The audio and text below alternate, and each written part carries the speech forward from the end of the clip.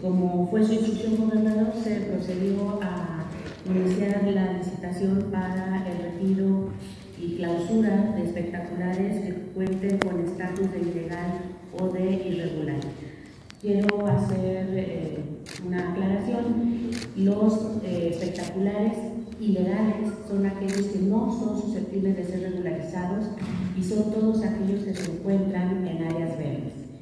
Los espectaculares irregulares son los que pueden ser regularizados, que pueden entrar en un proceso y se les exhorta a los propietarios a que se acerquen a la Secretaría para iniciar procedimientos de regularización de sus espectaculares, las cuales procederán en caso de así este, cumplir con las condiciones y lo que la ley manda. Eh, hacer también hincapié que esta Secretaría no anuncios o propaganda electoral, lo que regula es la instalación conforme a la ley o no de las estructuras. En cuanto a contenidos, la ley es muy específica y existen las instancias para revisar la legalidad o no de los contenidos de los espectaculares. También eh, quiero decirles que conforme a los artículos 23 de la Ley para Prevención y Atención de la Contaminación Visual y Auditiva, el artículo 24 de la misma ley y el artículo 59,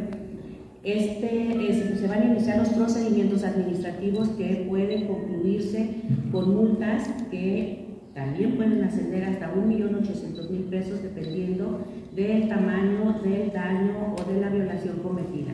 De ahí que eh, reiteramos el llamado que ya hizo el señor gobernador Sergio Salomón Céspedes Peregrina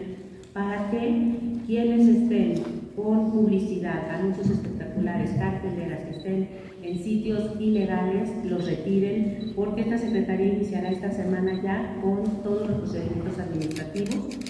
y eh, en este momento tenemos determinados en las áreas de competencia estatal, eso también es eh, una especificación que se tiene que hacer. Si ustedes recuerdan, la ley diferencia entre las áreas de competencia municipal, las cuales están perfectamente definidas, y las vías de competencia estatal. En estas vías vamos a iniciar los procedimientos administrativos a 147 anuncios autosoportados, a 14 estructuras de mobiliario urbano, es decir, puentes vehiculares, y eh, en cuanto a la jurisdicción estatal, estamos encontrando que eh, podemos iniciar esta semana, gobernador, con